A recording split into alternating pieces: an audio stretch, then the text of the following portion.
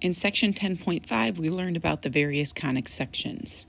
In this section 11.7, we would like to extend the notion of conic sections into three dimensions, in which case we refer to those as quadric surfaces. To begin, we'd like to understand uh, the notion of mesh lines. Mesh lines of a surface are curves obtained by cutting a surface with well chosen planes. We say that the mesh line that results when a surface is cut by a plane is called the trace of the surface in the plane. So let's take a look at some examples of mesh lines. First, let's sketch a sphere and then sketch mesh lines associated to it. So for my sphere, when I'm drawing it in two dimensions, I'm going to start with just a circle. But of course, this circle doesn't convey the three-dimensional shape of the sphere. So typically we draw in um, something along the lines of the equator. Now, the equator itself is a mesh line but we could draw additional lines to lead the reader into understanding precisely how this uh, surface is shaped. So we could draw additional latitude lines and we could also indicate some longitude lines.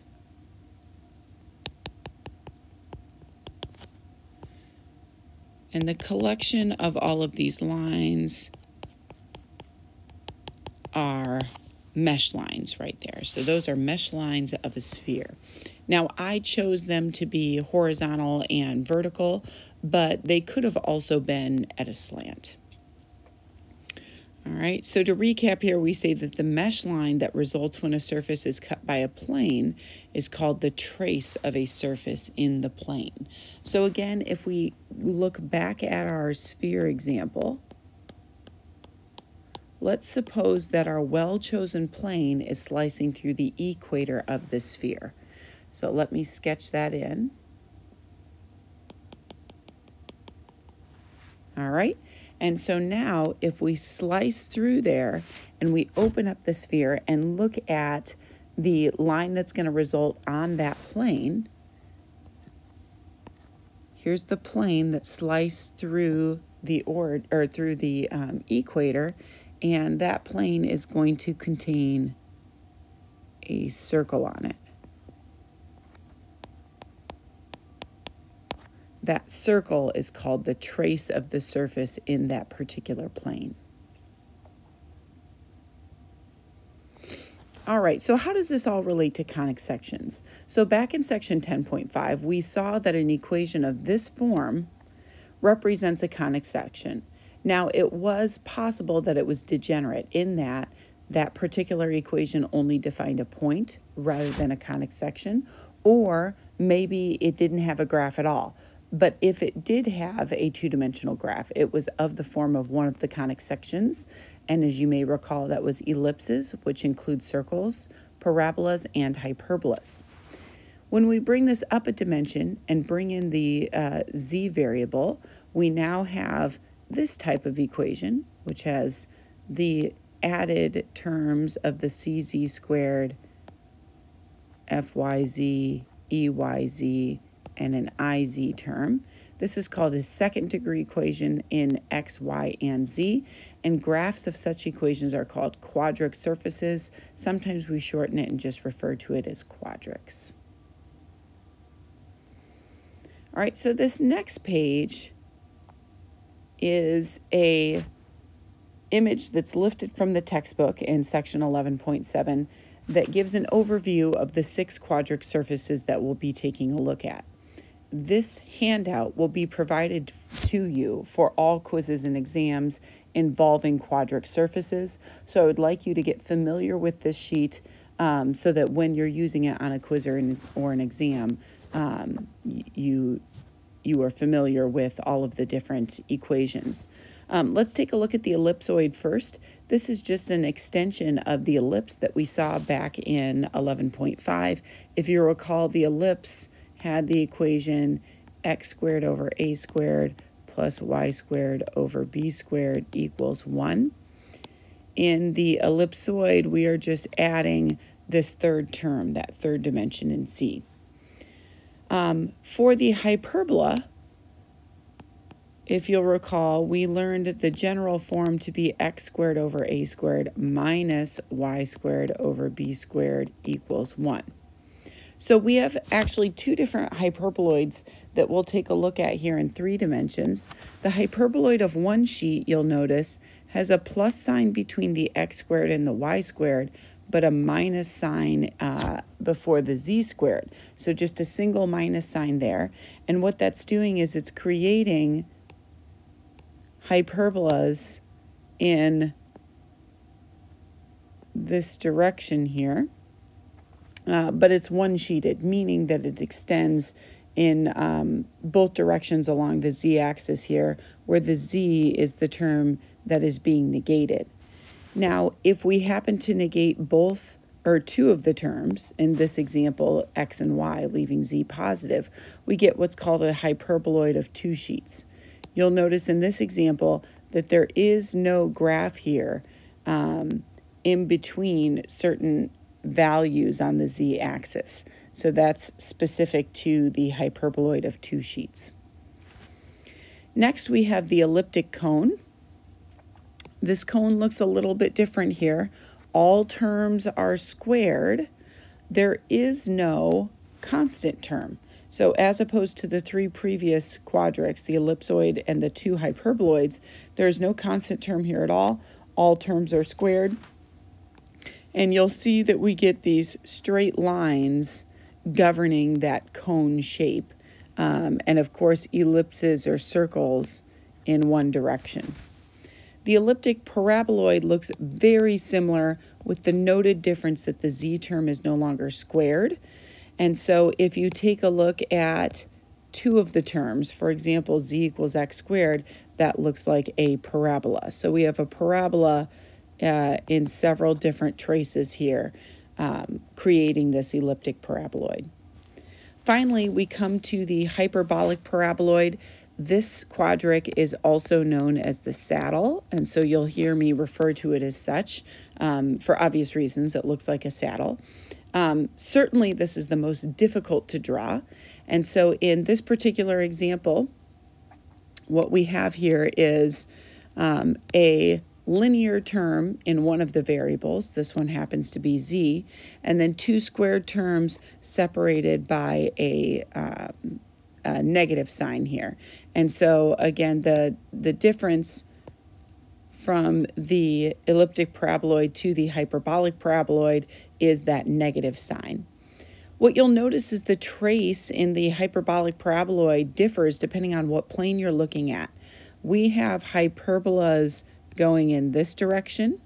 Okay, so if you if you projected them down to the xy plane, those hyperbolas that I just sketched are going to intersect the y um, axis. We have hyperbolas in this direction. Those would be intersecting the x-axis on the xy plane. But then we have parabolas in this plane, right? Slicing through the XZ plane.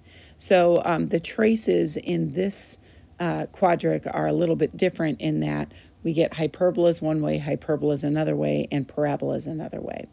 So it's by looking at these traces of these surfaces that we will be able to identify which surface it is and also be able to sketch these surfaces. So before we get into sketching, first we want some practice in identifying traces um, and finding their equations. So in each part, find an equation of the trace and state whether it is an ellipse, a parabola, or a hyperbola. So we're given the equation of the quadric, and then they specifically specify what plane we're slicing through to see that trace. So in part A, we want the plane y equals 1. So all I'm going to do is I'm going to replace y with 1. And then I'll write it into standard form.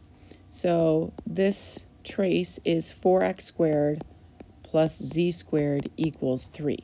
So this is the equation of the trace, and then we just need to um, classify which type of a conic section it is. In this case, we have the sum of two squared terms, so we conclude that this is going to be an ellipse. All right, so we want to just carry this on with the rest of the equations here in problem 9. So you'll notice in part B, it's the exact same quadric equation. We just have a different trace that we're slicing through. So we have 4 times 1 half squared plus y squared plus z squared equals 4.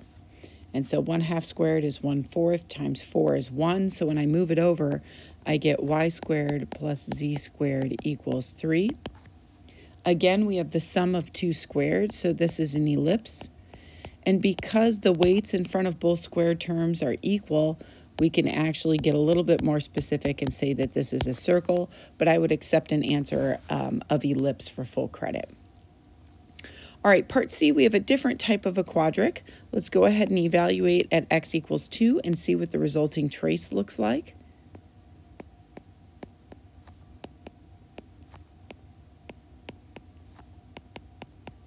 All right, so I have 4 times 9 is 36 minus y squared minus z squared equals 16. Let me get this into standard form. I have 20 equals y squared plus x squared. This is again an ellipse or more specifically a circle.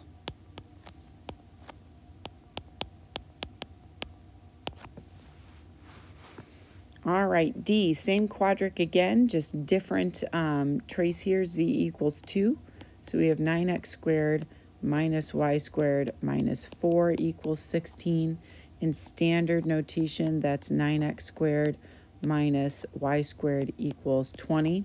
In this case, we have the difference of two squared terms. So we classified this as a hyperbola.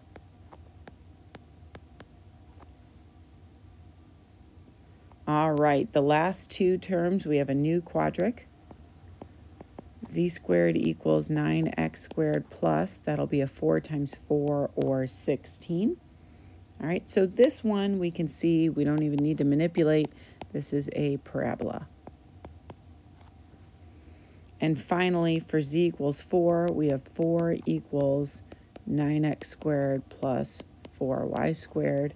This is an ellipse.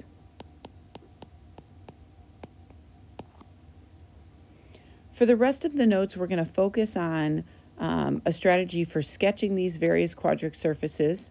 This is going to take some time, and as you practice sketching these quadric surfaces, you'll kind of come up with um, a way to identify the best types of planes to slice through and identify those traces. Um, but in general, how we're going to do this is we're going to first just identify the quadric by putting it into standard form and then referring back to that quadric handout that will always be provided for you. So again, that's back at page two. Um, make sure that you have this page handy when you're working out these problems in homework so that you become familiar with this. Once you've identified the quadric and have it in standard form, you want to sketch various traces of the surface in the coordinate planes. Typically, the coordinate planes are the first planes that I'm going to check. However, if that if those coordinate planes don't give you enough traces for you to piece the surface together, choose other appropriate planes. Again, we will identify what are different appropriate planes for different quadric surfaces, but I gave some examples of z equals 1 or y equals x. Once you have enough of those traces, you can piece it together with some additional mesh lines to give the reader an idea of the shape of this surface. All right, so let's take a look at number 15 to get started. We want to identify and sketch the quadric surface that's defined by that equation. So first of all, what I see are the sum of three uh, squared terms, and that's equaling the constant 1. So if you refer back to page 2 here, we recognize this to be an ellipsoid. And in fact, it's already even in standard form. So the ellipsoids are generally the easiest to sketch. Sketching the traces in the coordinate planes is usually enough to get an idea of what's happening here. So I would like to find the traces in z equals 0, y equals 0, and x equals 0. So if I zero out the z term, what I'm getting here is x squared plus y squared over 4 equals 1. So we recognize this to be an ellipse in the xy plane. If you want, you can write this as x squared over 1. So we want to go out 1 unit on the x-axis in both directions. And then remember, you always want to take the square root of what's underneath the um, variable. So we want to go out 1, 2 on the y-axis. All right, so let me just indicate those with points. And we want to sketch the ellipse in that crosses through those two points. I'm going to make the front of that ellipse solid, and I'm going to make the back of it dashed because that'll be in the back of our ellipsoid. All right, so there's essentially the equator of our ellipsoid. Now let's find the trace in y equals 0. That's going to give us the trace in the xz plane. That gives us x squared plus z squared over 9 equals 1. Again, if you want to write that x squared over 1, that's fine. We already have these points on x equals plus and minus 1 on the x-axis. Now we need them at z equals plus and minus 3.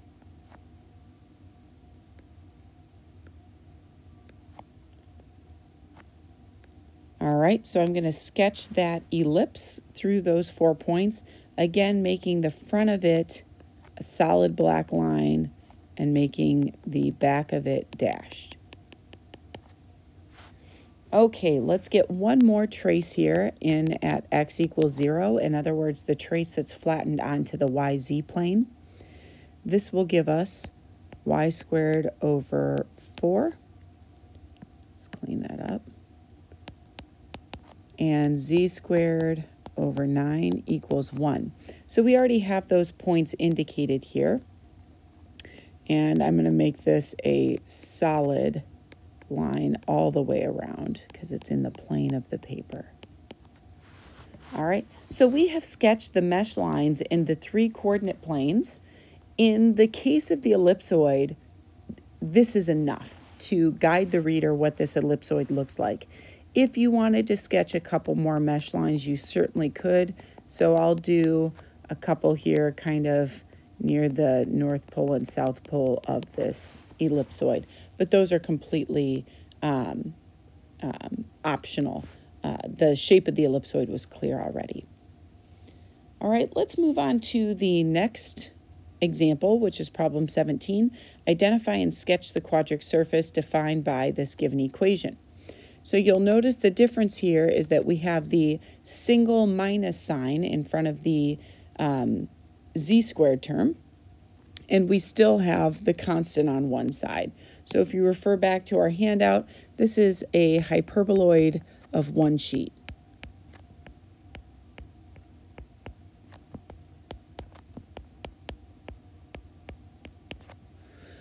All right, so let's just scroll back up to our quadric handout. And let's take a look at this hyperboloid. The traces in the hyperboloid vary, but you'll notice again that we have hyperbolas going this way, we also have some hyperbolas going this way if we slice through here.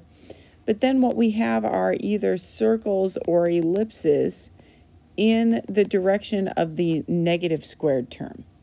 So if you're anything like me, I avoid trying to draw hyperbolas because I'm not very accurate at it, but I'd much rather draw circles or ellipses. So what I'm going to do is I'm going to zero in on this squared term and I'm going to pick various values for that squared term in order to accurately draw these ellipse traces, and then I'll piece those ellipses together with hyperbolas. All right, so following that setup, again, I want to emphasize that it happens to be the case that the squared term that's negative is z. It need not always be that case. Maybe the x squared or the y squared term is negative. So let's choose some convenient values of z to plot these traces that are going to be ellipses. So the most convenient value for z, of course, is going to be z equals 0, that coordinate uh, plane, or yeah, the coordinate plane um, on the xy axis. So if we do that, we get x squared over 4 plus y squared over 9 equals 1. So this is the ellipse that's going out plus and minus 2 on the x-axis. and plus and minus 3 on the y-axis.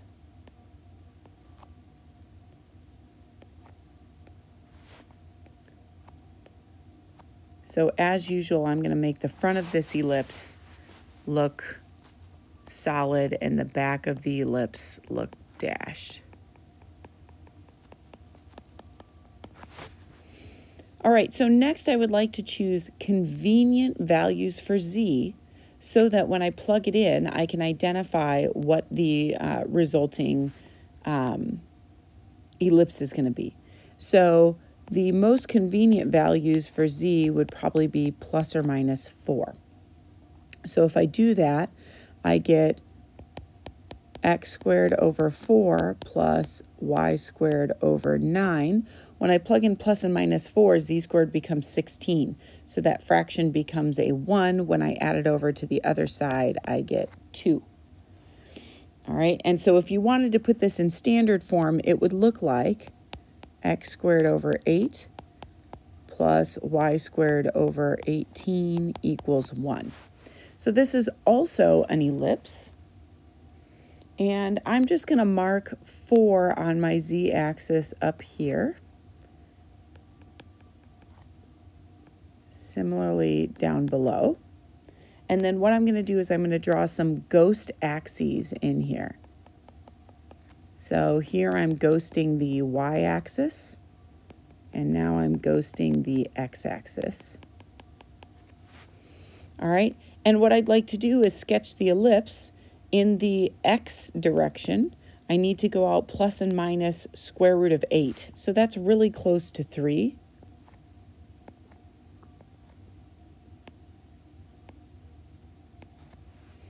And then along the y-axis, I'd like to go out plus minus square root of 18, which, a which is a little bit past 4.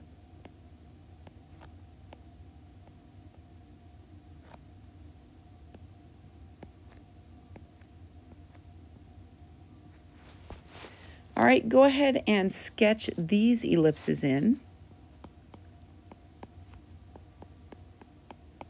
I'm going to make this top ellipse solid all the way around. It's going to serve as the top of my hyperboloid. And then do the exact same thing down here at negative 4. It's the exact same ellipse.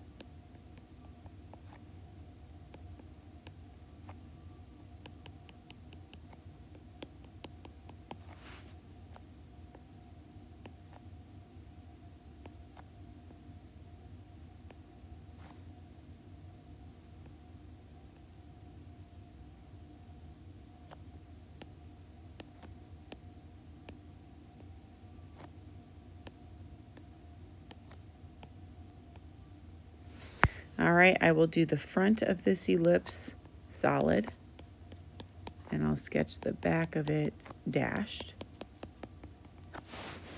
We can now envision the shape of this hyperboloid of one sheet since we already determined that it was one sheeted. And so from here, piece these three traces together with some additional mesh lines. So in particular, we need the outer hyperbolas here connecting them together. So again, I feel confident that this is enough traces and mesh lines to give the reader an understanding of how the shape of this quadric surface is. All right, so we'll move along to page five. We, our goal is to work through examples of each type of quadric so that you get um, some practice in sketching each of these. So here's our next quadric. You'll notice that all three variables are being squared. There is no constant term in this case. So if we put this into standard form, this would be z squared equals x squared over 4 plus y squared. And this is an elliptic cone.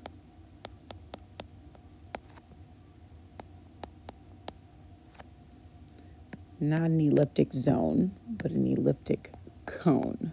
There we are. All right, so if you take a look at z equals 0, this is an important aspect of the elliptic cone. We get 0 equals x squared over 4 plus y squared. There is only one way that you can square two real values and get zero back out, and that is if both x and y were zero. So this is just a single point at the origin. So the trace in the xy plane is that single point at 0, 0, 0. Now, you'll recall with the cone that we had two different types of traces. So let's come back up there.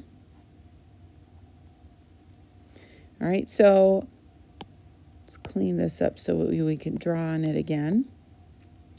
What we have in the cone is we either have these lines that are truly lines intersecting at the origin, and those are happening in the xz plane and the yz plane.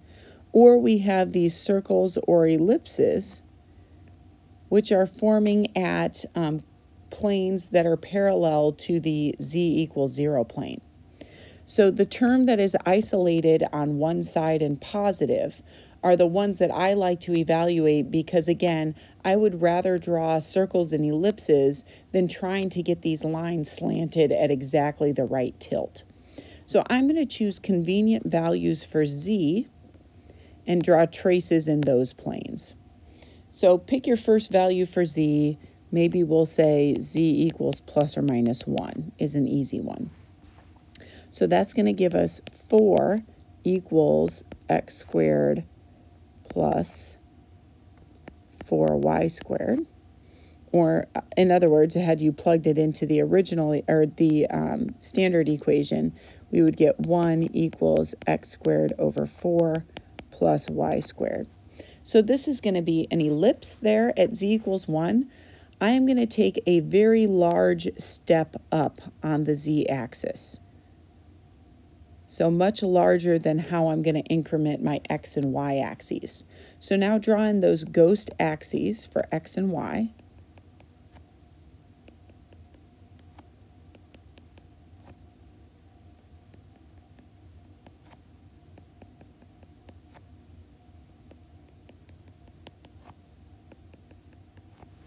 and then draw your ellipse accordingly. So on the x-axis, which is this one, we want to go out 1, 2, and 1, 2. On the y-axis, we just want to go out 1. And then I'll sketch that ellipse. And do the same on the bottom. Go out 1, 2 on the x-axis. And go out 1 on the y.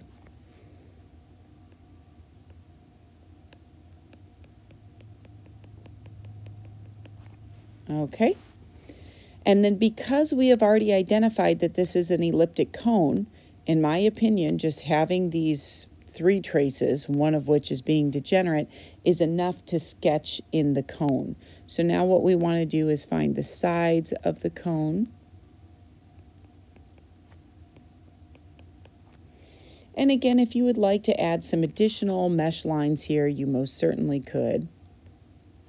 So this would look like something like this. All right. Now, it is important to note that all of these surfaces are infinite.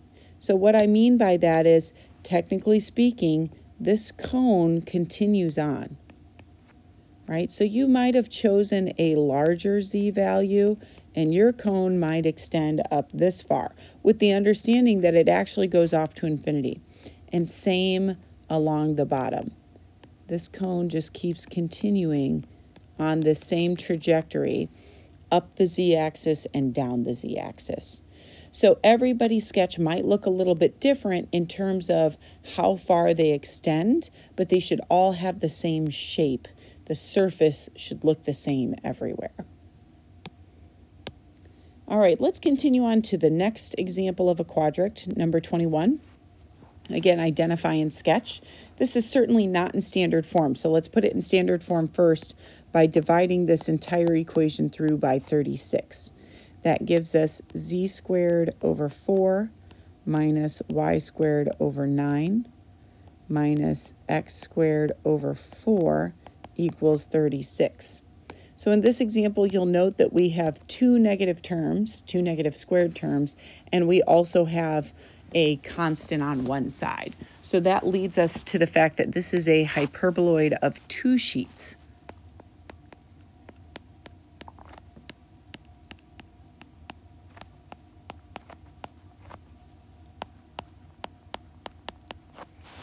So to gain some insight as to how to best choose the um, how to best choose the traces that will help us sketch this surface, let's flip back up to that quadric surfaces handout. All right, so here's what we're looking at. So we're looking at the hyperboloid of two sheets here in the lower left corner. And what do our traces look like? we have hyperboloids in the YZ plane in this direction. We have hyperboloids in the XZ plane in this direction. Again, I am not a fan of drawing hyperboloids. I'm not going to do it very accurately. So I would not like to really sketch anything in those two coordinate planes. So again, that was the y equals a constant and the x equals a constant. Those are going to be both hyperboloids. So instead, I would like to draw these nice ellipses or circles, and these are in the z equals a constant. So if I choose appropriate values for z, then I can find uh, nice traces that are going to give me the two pieces of these hyperboloids. Now again, notice that there is no trace here for some amount of z values. So we need to identify where these hyperboloids are beginning, and then we can add some additional ellipses to sketch them in. So let's take a look at our particular example. All right, so the question becomes, for what values of z do we have traces? So let's just take a look here, first of all, at z equals 0. What's happening at this case? What we would get is negative y squared over 9 minus x squared over 4 equals 1. All right, this is no good, right? Because we can't have two negative squared terms and add them up to be a positive number. So there is no graph here. So this graph just does not at all touch the xy plane. z equals 0, there's nothing. So the question becomes well, how high do we need to go in order to identify where this hyperboloid is starting? So let's take a look at, whoops, at plus and minus 2. So if I plug in plus and minus 2 here, that's going to make this z squared over 4 term 1, which means the 1 here is going to cancel with the 1 here. So what I'm going to get is x squared over 4 plus y squared over 9 equals 0. Again, the only way that we're going to get uh, the sum of two squareds equaling 0 is if both of those square terms were also 0. So the trace here is a point or points at 0, 0, and plus minus 2. So this is identifying where those two hyperboloid caps are beginning. So I'm going to take a fairly chunky step here on the z-axis, right? Very large tick marks at plus and minus 2, and then indicate that single point there as a trace. Now, if we can just get one more appropriate trace above and below positive 2 and negative 2 respectively, and we get one ellipse drawn in both of the caps of the hyperboloid, then that's enough to really sketch it together.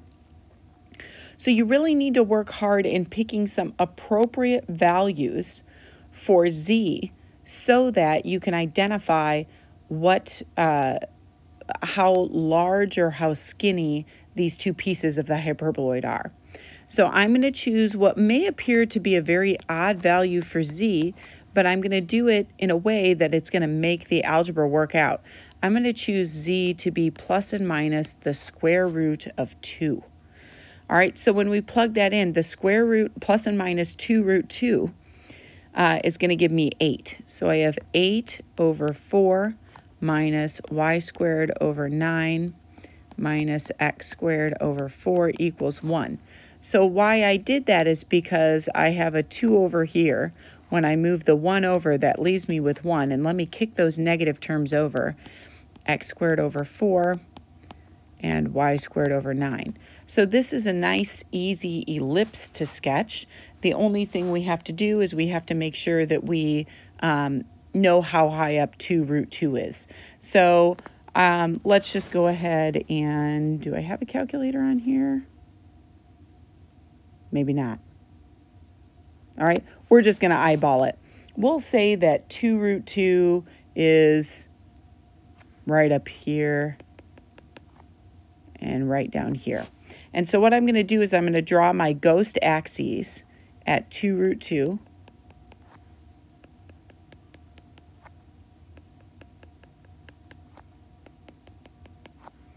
So we have x and y, and do the same up above. Now remember, I took fairly large um, tick marks on the z-axis, but I'm going to do significantly smaller tick marks on the x and y axis. So for x, we want to go out plus minus 2. For y, we want to go out plus minus 3. So go ahead and indicate that. 1, 2, 1, 2, and then 3.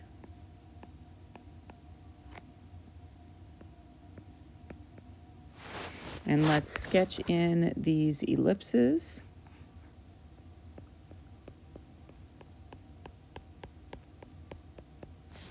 Once you have that ellipse drawn, you can go ahead and connect the bottom of the bowl with the top of the bowl. So it's a fairly shallow bowl here. And if you want any other mesh lines, you can draw on a few of those. So there's the top portion. Let's do the bottom as well.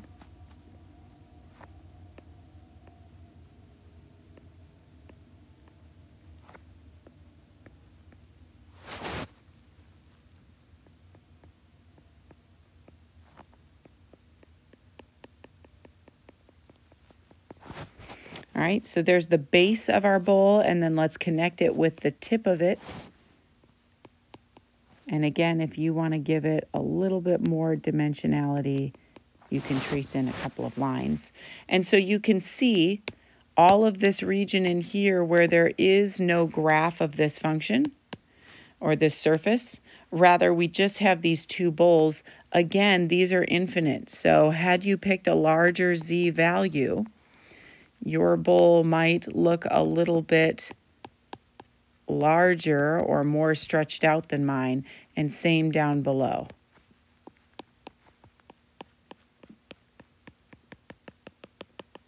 All right.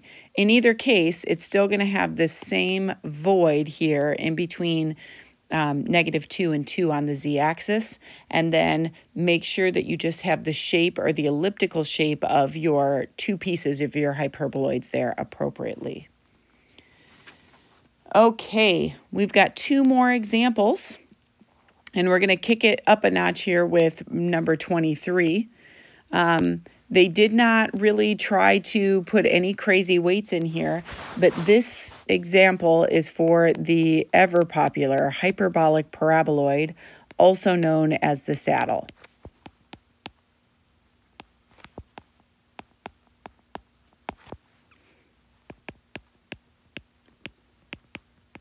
The saddles are hands down the most difficult to draw. Um, and part of it is because in every plane you look, there's almost a different trace. And so you have to be very careful in how you choose the traces of these saddles. So follow my lead here. We're going to start by finding the traces in x equals 0 and y equals 0. So starting with x equals 0, we get z equals y squared. All right. So when x equals 0, this is in the plane of the paper.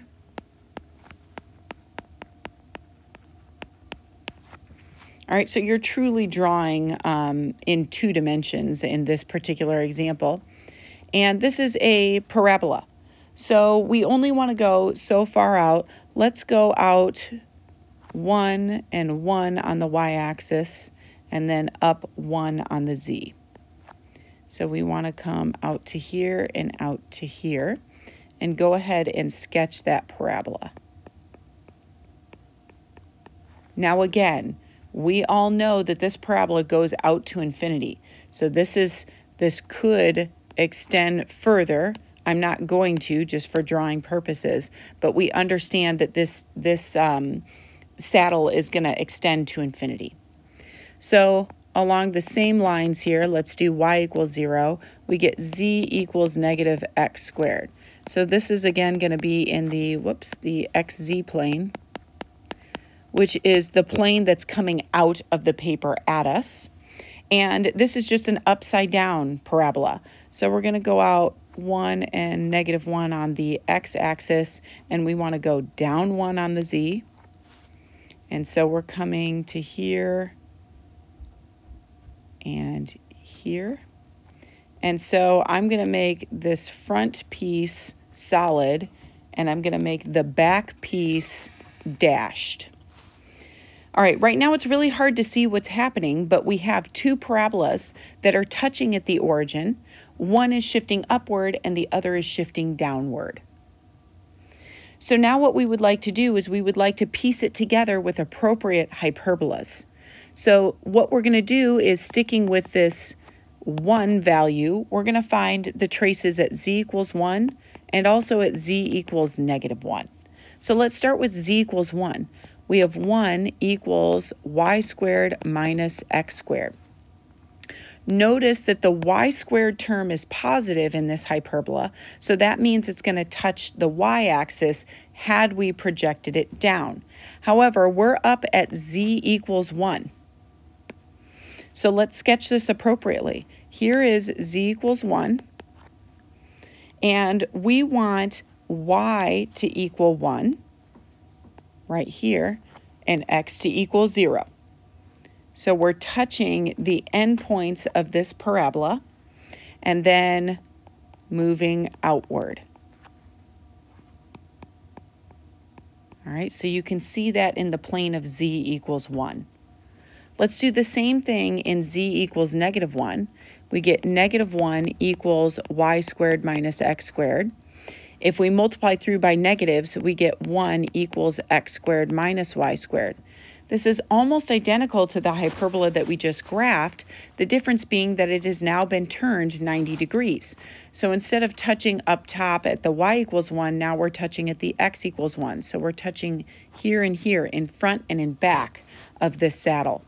So in the front, I'll draw a solid hyperbola that's elongated based on the way that we're viewing this saddle. And then we also have one in the back. I'm going to make that one dashed. all the way back. And then I'm going to piece this together on the side so that we can really see the sheets of this saddle. So we can bring this down here. We also want to bring down in the back and connect to the dashed line. And then same in front. So bring it down here. Let me extend this back piece and down as well. So you can really see our saddle take shape. Um, and the key here is to plot the two parabolas, which are governing right there in the base of the saddle, or the crotch of the saddle, if you will, and then two hyperbolas in each direction to give you the top and bottom of this saddle. Okay, these are definitely the most difficult, so make sure you practice one of those on your own. And we finish off our notes here with problem 25. Um, in this case, we have a linear z term, and then we have the sum of two squared terms, x squared and y squared. So let's put this into standard form first and then identify. This is z equals x squared over 4 plus y squared over 2. And we recognize this to be an elliptic paraboloid. An elliptic paraboloid.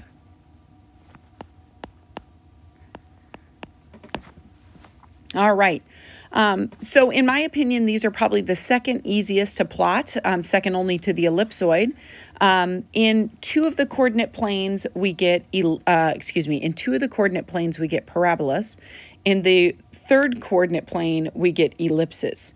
Again, I feel very confident in drawing ellipses, so I try to choose um, planes whose traces are ellipses, and those are going to occur in the z equals a constant plane because we see over on this side the sum of two squared terms.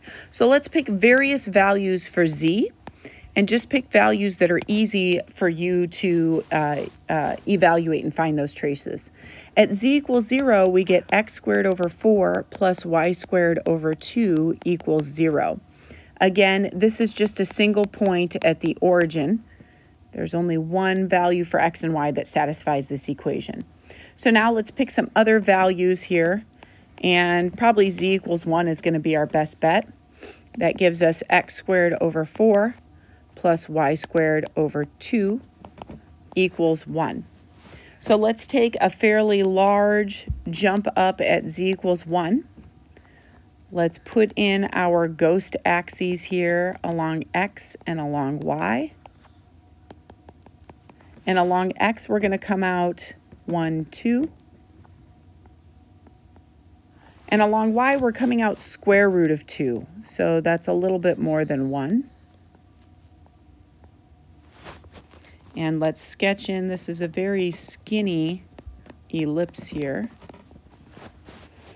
Now, if you wanted to sketch one more ellipse, for example, at z equals 2, you most certainly can, but really one ellipse is enough for us to see how wide this paraboloid is. I'm going to go ahead and connect it.